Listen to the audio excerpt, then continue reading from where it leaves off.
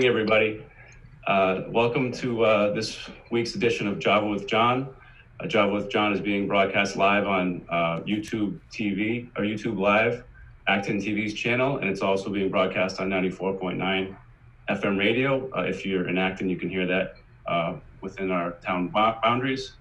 we have some special guests this morning, which I'm looking forward to hearing from and, and speaking with. And, and um, but before we get started, I just wanted to give a few updates. Um, so this Java with John program is a senior center program that we've been running for about a year at the senior center.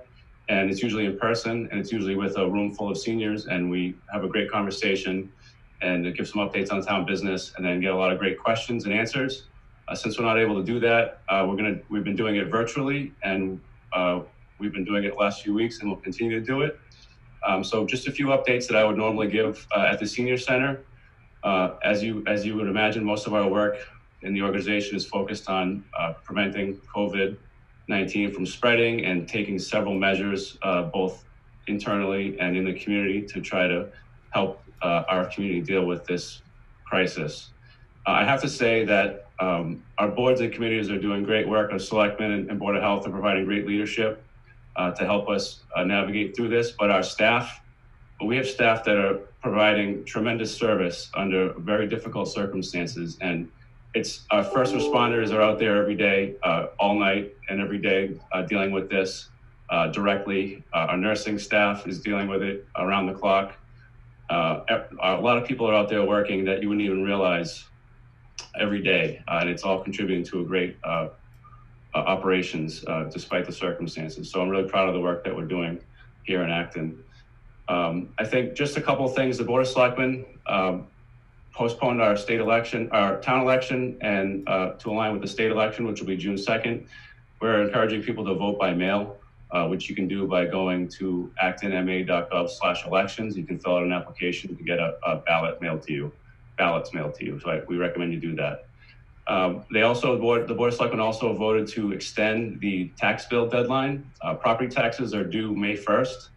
Uh, this this, this quarter, but they've extended that deadline to June 1st uh, to give people more time. And they've also uh, taken the action to waive any penalties and fees or interest uh, on those due payments as long as they're made by June 30th. So if you're late on June 1st, uh, as long as you get it in by June 30th, there won't be any penalties uh, as it would be otherwise.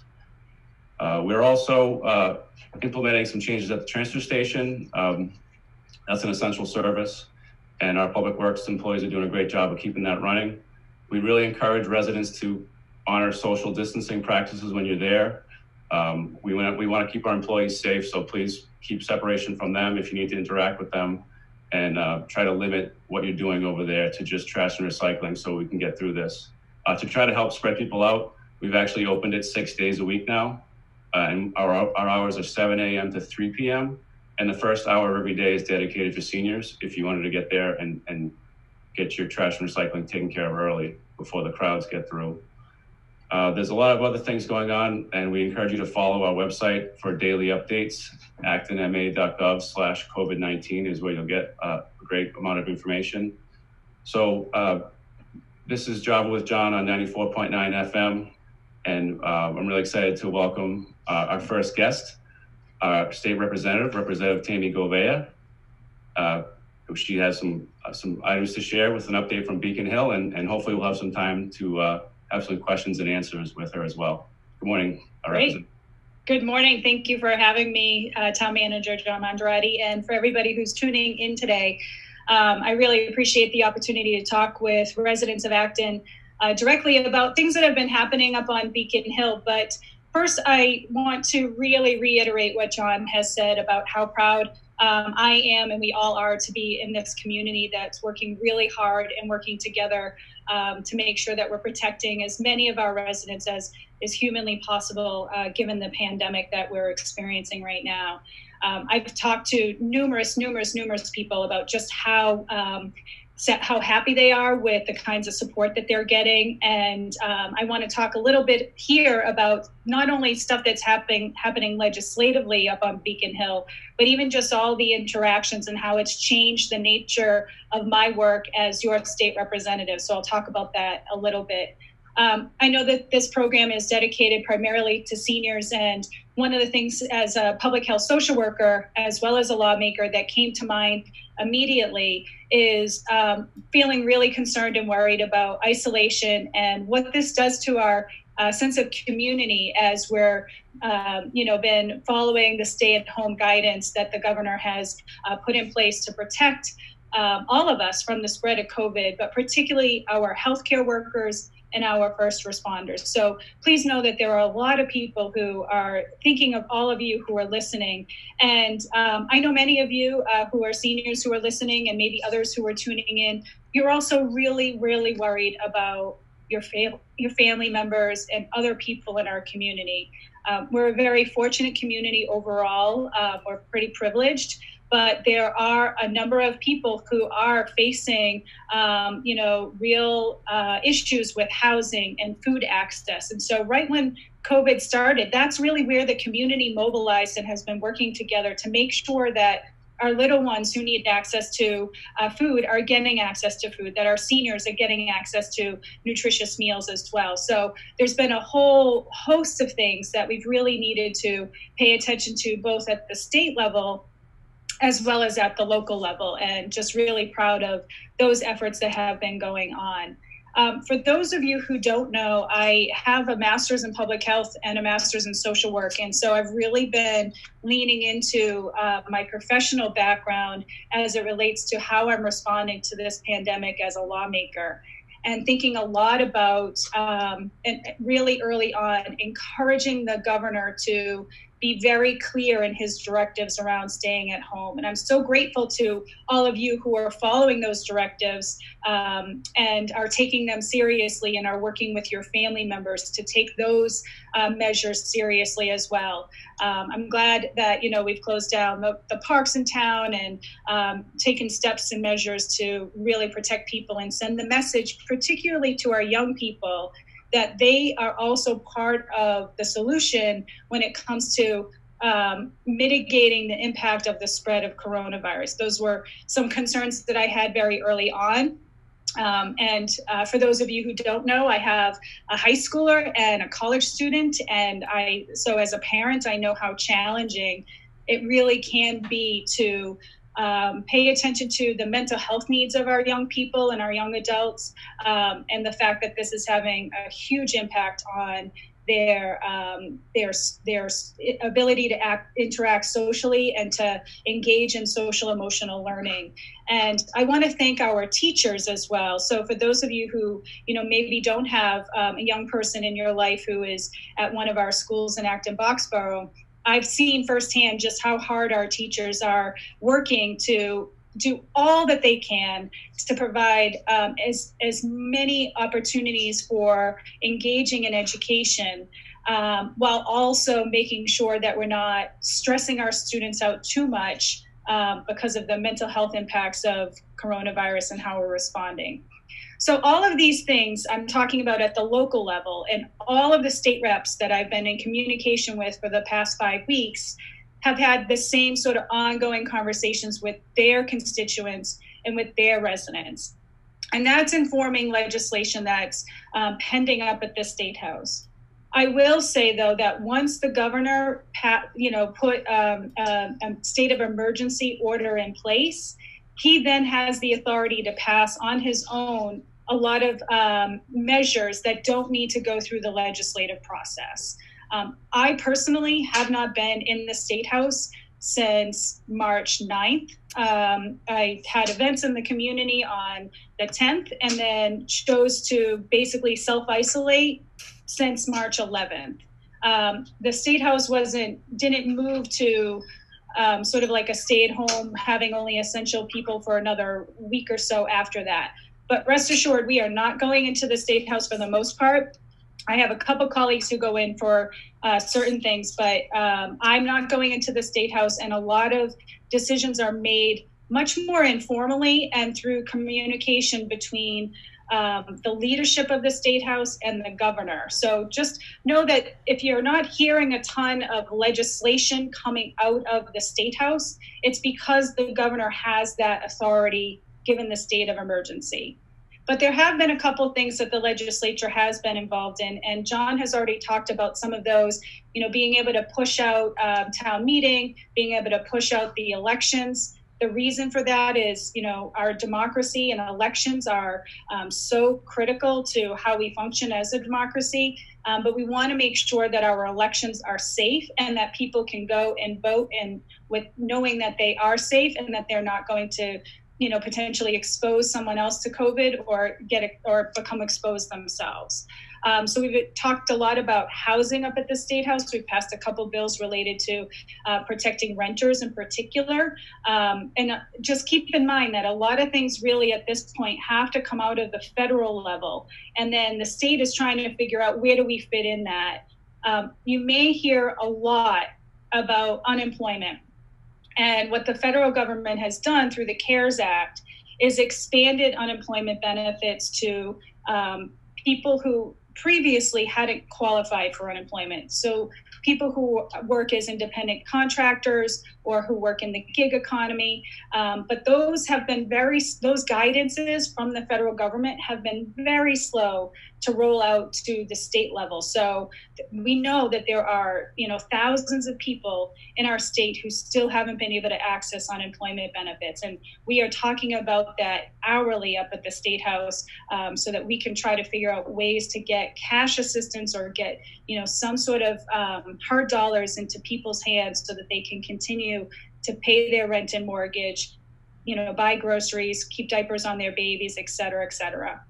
Um, food access has been an issue. I've, I've been on a number of calls in town focused on food access, and we are in just such a great place with the skills that we, the skilled staff that we have, and the caring staff that we have here in town, both town employees as well as nonprofit organizations and the schools that have been coming together to really think through what does food access look like um, you know for our residents and you know one of the reports that came out two days ago is that we are very likely to experience 25% unemployment in our state and that has tremendous impacts on thinking about food security housing security et cetera et cetera there's just one other thing that I want to highlight, and then I think we can open it up to um, you know more questions. Um, is I'm thinking a lot about mental health and asking a lot of questions around mental health. Um, when I think about uh, what's happening with our frontline healthcare workers and what is likely to happen um, and what their experience will look like over the next couple weeks. Um, there have been ongoing conversations about how do we support our healthcare workers so they can take care of the most sick of us, um, you know, within the hospital setting and then also the step down setting. Um, but also thinking about the mental health of all of us. Um, we're all operating and working in very different ways. Um, you know, you're not able to meet uh, and come together at the senior center. And that has tremendous impacts on um, our ability to be able to connect with other people. So um, I've uh, been working on launching a program to reach out to seniors, to reach out to people in our community individually. And I have a team of folks who are ready to start making phone calls just to check in with people, see how you're doing, see if you need any particular resources. And I've been um, in co- constant communication with the CEO of uh, Emerson Hospital, and Christine Schuster and her team have been on this planning and working really hard to make sure that the hospital is uh, at the highest le- level of capacity that they possibly can be, uh, given what's going on with COVID. They have had tremendous support from the community, from the surrounding communities, and they are so incredibly grateful. Um, you may have heard that we were doing um, a, a, sewing project to get hand sewn masks for um, folks who work within Emerson and then also other community members over 10,000 masks were dropped off within a like two week period over at Emerson Hospital. So the outpouring from the community has been just so uh, positively overwhelming for the for the folks over at Emerson. But they do have enough PPEs. I'm happy to report they have enough personal protective equipment over at Emerson Hospital, and they feel like they have enough to get us through the next couple weeks, which I'm incredibly relieved and grateful for. Um, and so just know that they're that our community members who are reporting for work at at Emerson um, should have all of the protective equipment that they need. We've been working really hard to make sure that our frontline, uh, our first responders, our police officers and firefighters, that they have the equipment they need. Um, and we're paying a lot of attention to what's called congregate care. So, you know, I have constituents who live in um, housing for people with disabilities um, or elder housing. And so making sure that we're doing all that we can um, to make sure that our social workers who are working with um, families and children are also protected. So these are the things that, you know, we're paying attention to up on Beacon Hill every single day. Um, but again, a lot of the directives are really held by uh, the governor. But um, I'm here to answer any questions you have about any particular pieces of legislation or programs um, that we have running or that we could be running or should be running. So want to turn it back over to you, John, I think. Great. Well, well thank you very much, Representative, for the updates. Uh, so uh, if you have any questions for Representative Gouveia or for any of our other speakers, please email them into manager at actonma.gov. Uh, or there's a chat function on YouTube where you can also enter questions and we can see them that way. Uh, so we're here on 94.9. We have Representative Gouveia, we have our uh, nursing director, Heather York, and we have our council on aging director, Sharon Mercurio. Uh, we're going to have an update now from uh, nursing director, Heather York, on the public health front. Heather, how are we doing today? Good morning, John. Thank you. Um, and thank you, Tami. Your information was just really great for folks to know what's going on in the background throughout the community, but also throughout the state at that level. So thank you. Um, I just wanted to talk about a few things, um, a, a, few things that are a little different today, um, particularly about our contact tracing. I know there's a lot of concern by folks in the community um, who will get co- phone calls from their local board of health, which would be us, um, saying that they've been in contact and exposed to someone who is a positive case of COVID 19. And I just wanted to explain how that process works.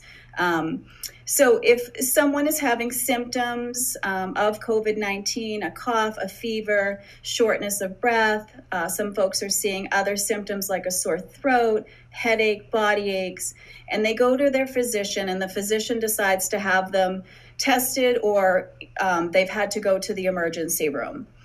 Once someone is tested, the turnaround time is about 24 to 48 hours now, depending on the lab that you're going to. I think some have still a, a little longer um, reporting time. What happens when that test comes back positive is the doctor who ordered the testing will get in touch with uh, the patient, let them know that they did test positive for COVID 19, and they will be put on home quarantine for 14 days, or if they live with other people, it's considered home isolation. So they need to isolate from their family as much as they can. From that point, what happens is the local boards of health are notified of this positive case. So if there's a case in Acton, um, I'll get updated through the MAVEN system through the State Department of Public Health. And then what I do or my colleagues do is we call the resident and we do what's called contact tracing. So we have a conversation based on when their symptoms started. Um, we go through, you know, a, a plethora of questions of how they're feeling, if they know they were exposed, where they work, if there's family members within the house, and then we start expanding outside of the family members. Who have you been in contact with? In a in less than a six foot distance for 15 minutes or greater. And that would be someone that would be considered a contact a direct contact of a positive case. So then we get all of that information phone numbers addresses towns they live in um, and then we start calling people to let them know they've been in contact with a positive case. Um, so if you and not having a, any symptoms or not having been tested, get a call from your local board of health saying you have been in, identified as someone that was in contact with a positive COVID 19 patient, we will start asking you the same questions. You will go on 14 day quarantine from the date of the exposure. And uh, from there, we'll monitor you um, from over the phone. We'll get in contact with you frequently just to see how you're feeling, make sure you're not having any symptoms, give you guidance on the quarantine itself, um, assess if you need assistance with food delivery or any of those things that um, you might need, medications. Um, so, and then we'll ask you all of the questions that we typically ask a patient who is positive, and we go through that piece just a reminder if I get a um, if I get information of someone who is a contact case from another town, we don't get information about who the positive case is. Um, that information is protected as well as anyone who is a contact case. Um, your information doesn't go out. Um, no one is notified of who you are. And if you are a positive case, that is especially protected um, as someone could have, you know, 30 or 40 um, people they have been in contact with who have to be notified that they have, in fact, been um, around a positive COVID 19 case. So it does take a little bit of time for all of that information to be collected and out to you. Um, but just, you know, remember that your personal protected information is not given to anyone else. Um, we as clinicians can talk to other boards of health and other medical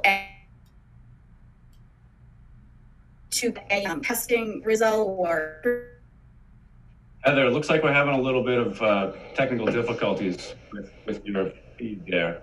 Oh, I'm sorry.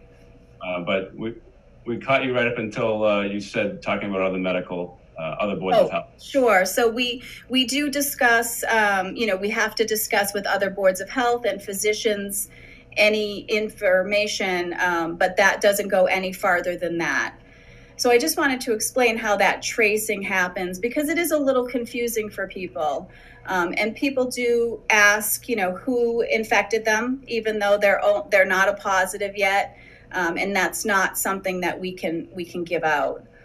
Um, the other thing that I wanted to mention, I know with the new guidance for the face masks, um, for folks to wear those when they're out in the community, grocery shopping, going to the pharmacy, where it's it can be difficult to stay six feet away. I just want to remind people, you still want to socially distance even with a face mask on.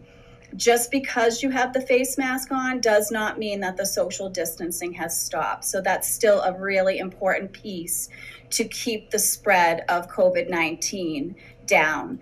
Uh, distance and masks will will help us even more to keep that spread from from continuing.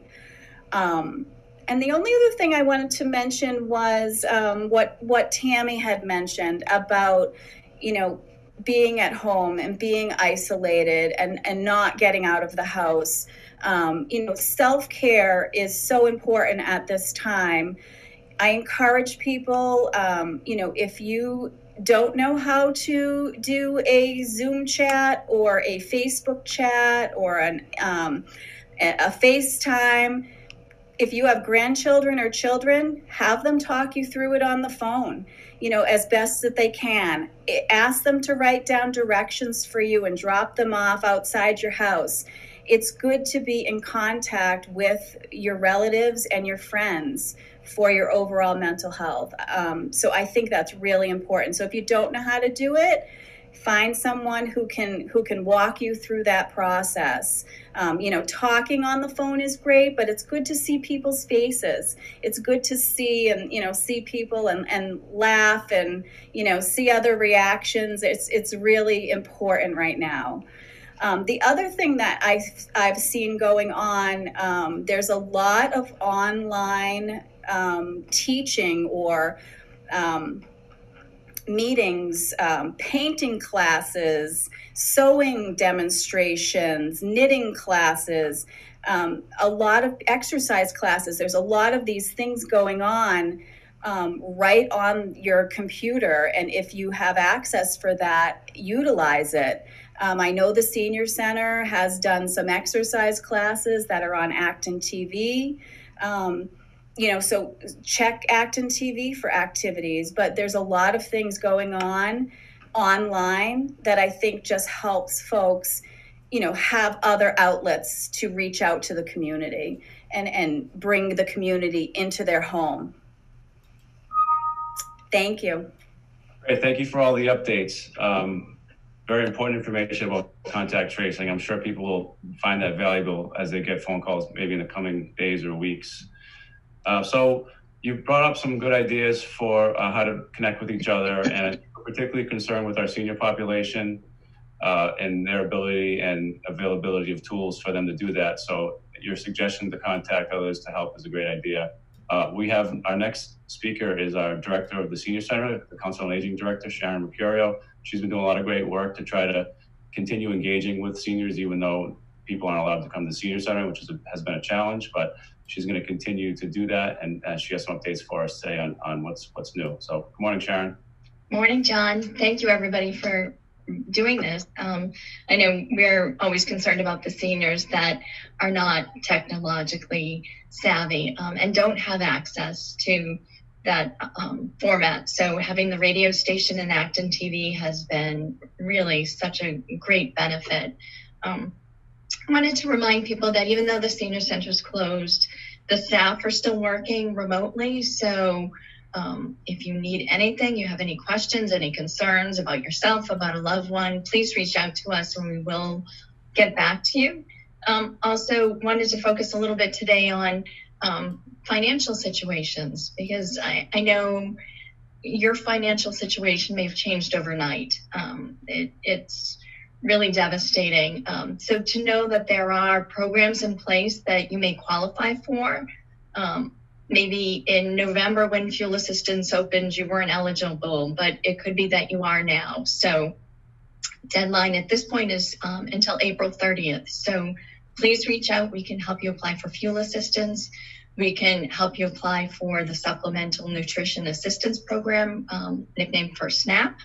Um, and well, um, talking about SNAP as well, um, they've actually maybe reaching out if you're already receiving SNAP benefits, um, you may be seeing an increase in your benefits for April and May.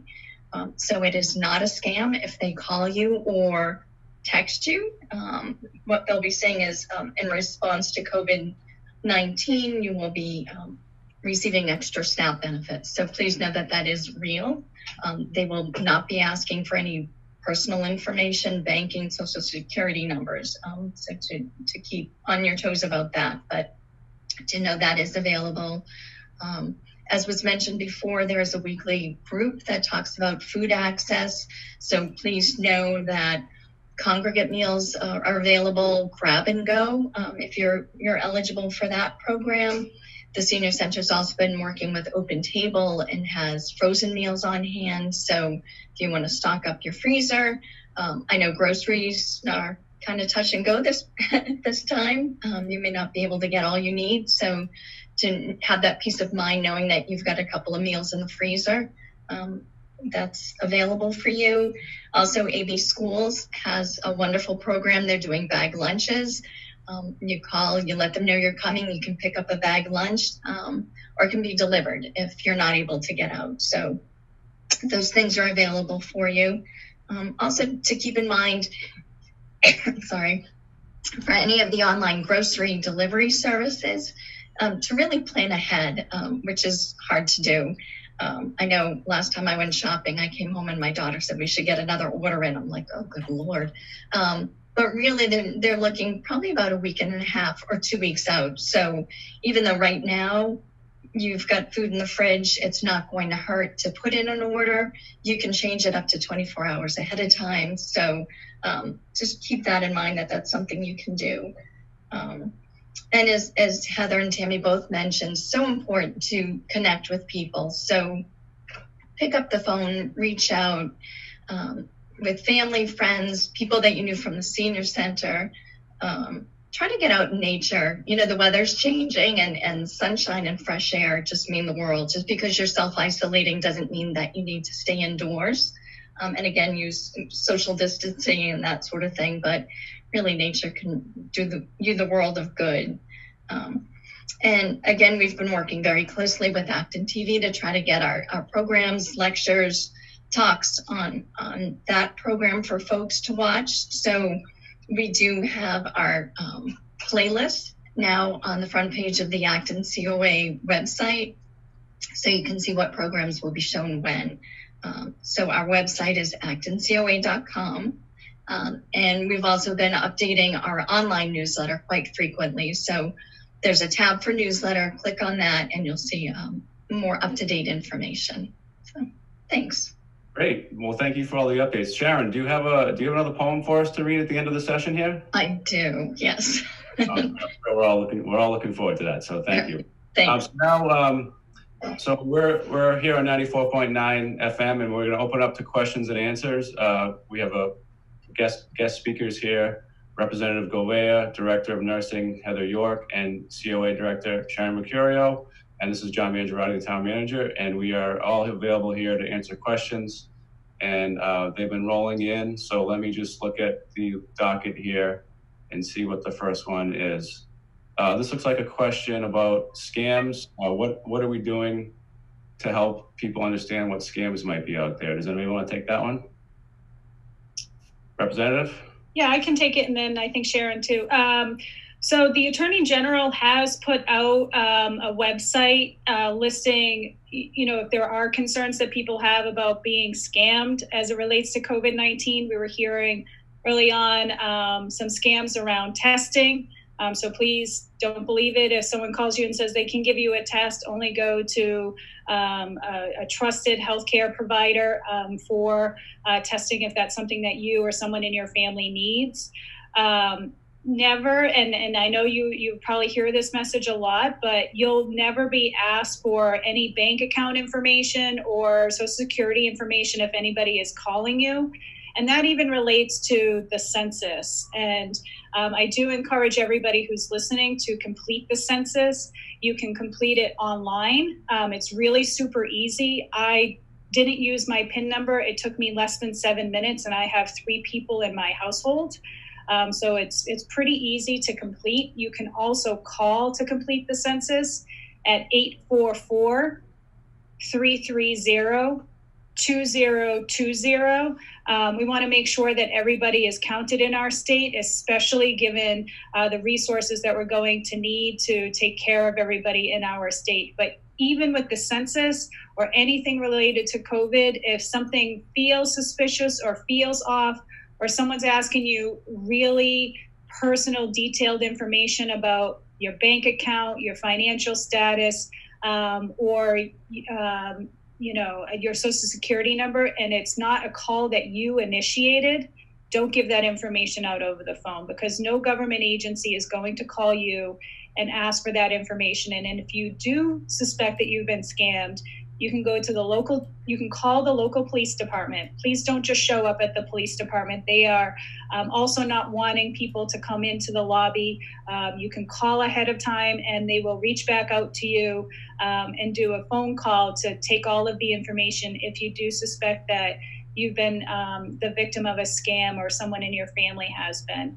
Um, so just wanted to reiterate, you know, those points. I think Sharon, maybe you have a couple other things that you might want to share as well. It looked like you wanted to chime in, but um, we just want you to be protected um, in the in the face of the pandemic. Uh, there are, you know, people who take advantage of any situation to try to make a quick dollar and unfortunately this is one of those situations as well and the attorney general as i said can also be a resource Thank you. You covered that beautifully, Tami. Thank you. Um, I was just going to remind you that um, Detective Mike Araclio um, is our contact, so he's great about trying to keep people updated on what what the trend is for scams. Um, and I do believe he's going to try to do some public service announcements for the radio uh, that that John sent out a format for. So keep your ears open. Thank you. That's great to know. Thank you. Uh, thank you for the question and thank you for the answers. Uh, so looks like we have another question coming in here. Uh, this is one about nursing homes. Uh, it looks like uh, this, the nursing homes have been uh, in the news lately, uh, and it's something that we're really focusing on across the state. And there's a question here about are we what are we doing to inspect our nursing homes or understand if there are any concerns there? Heather, um, could you address that, please?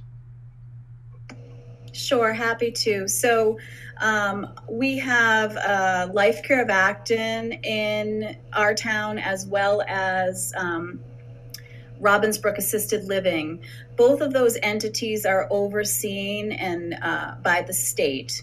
So, any information of positive cases that come out of anyone either working or living within those institutions um, does go and, and it is followed by the state uh, Department of Public Health.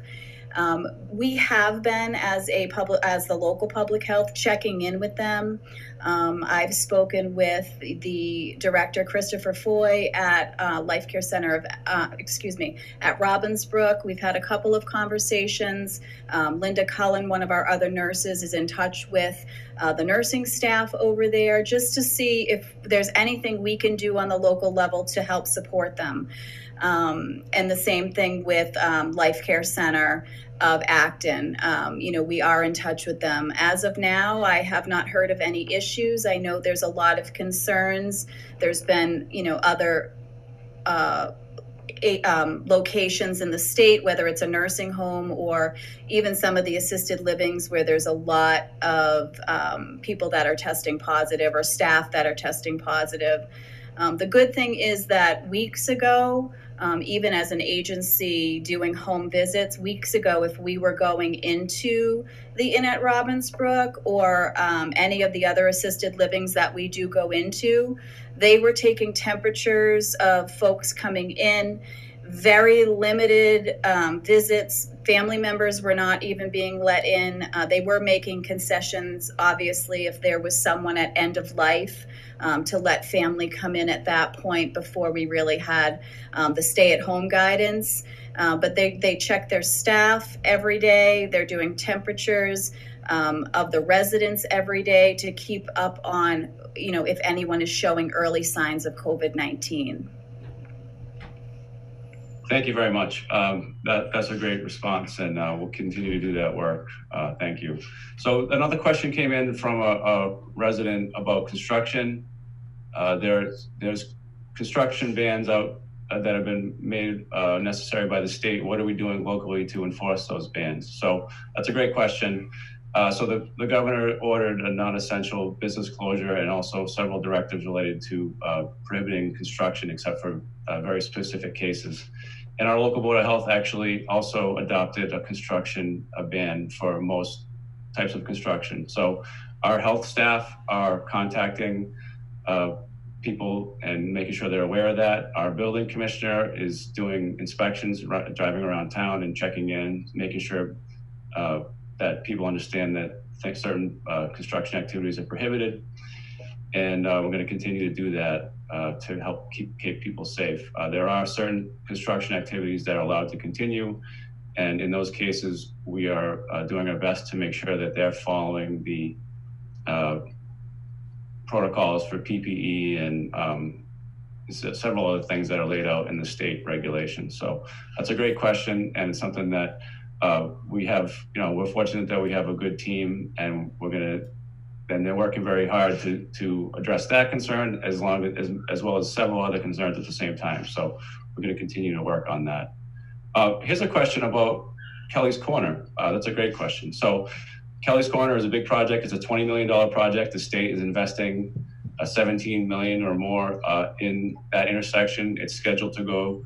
It was scheduled to go to town meeting. Actually, we were supposed to have town meeting this week, but we were going to ask for uh, authorization to do the right-of-way acquisitions. Town meeting has been postponed to a date that has not yet been determined. Uh, hopefully, we'll have that soon. Uh, but anyways, so assuming we have that vote and it's supported by the community, uh, the project will continue.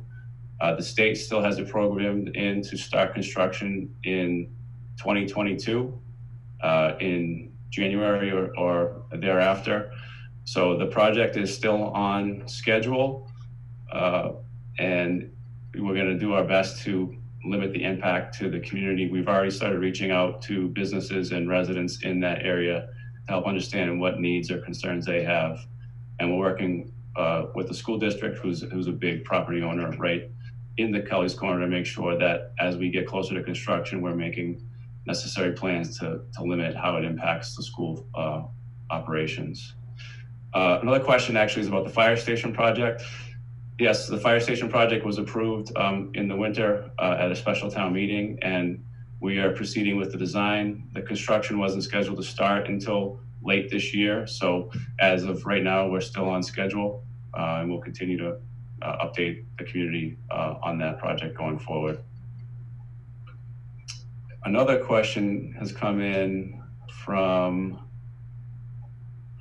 oh, can you, someone asked to repeat the number for the, to call the census. Uh, Yeah, 844 330 2020. Great, thank you. I didn't realize you could call in. That's a great option. So uh, I think we've I think we've uh, answered all the questions that we have. Do, do any of us have any questions? Does anyone anyone want to sing a song or uh, do any other sort of uh, presentation while we're while we're live here on radio? I just want to share a way for people to get in touch with me. Um, so this Sure. is State Rep Tami Gouveia. You can call if you have any issues coming up with, or anybody in your family around unemployment or housing or mass health or the connector or anything that's related to COVID or any other constituent issue. That's a big part of my job as your state representative is helping you navigate um, some of the administrative bureaucracies to get your needs met. So the best way to reach me is my phone number is 617 722 2011.